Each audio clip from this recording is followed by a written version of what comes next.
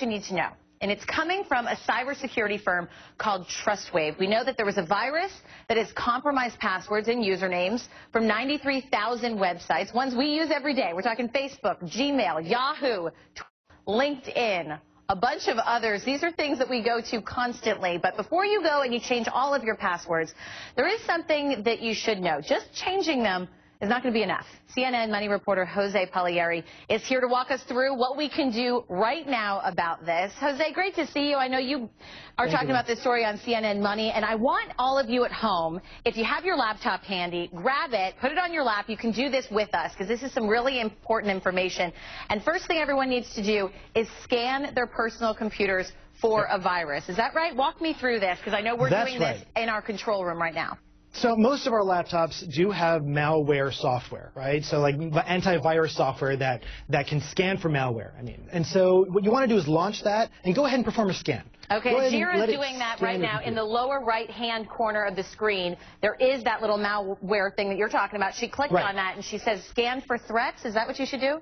That's right. Go ahead and scan for threats and let that go for a while. Do a full scan. It might take Full a few scan. minutes. It might take a few hours. Let the scan go. And what it's going to do is it's going to see if it can track down viruses that these companies, these uh, antivirus companies, have identified. Now, let that run. But it's more complicated than that because changing the passwords to Facebook and LinkedIn is not something that you want to do on that same computer.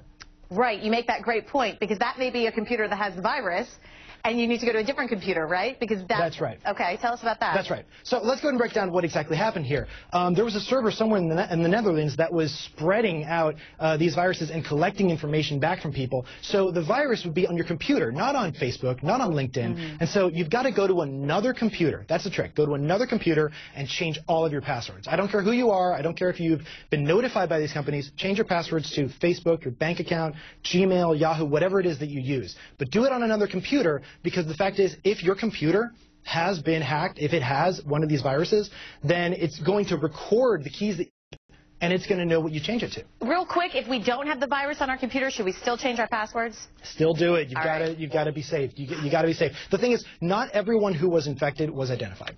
Jose, thanks so much for being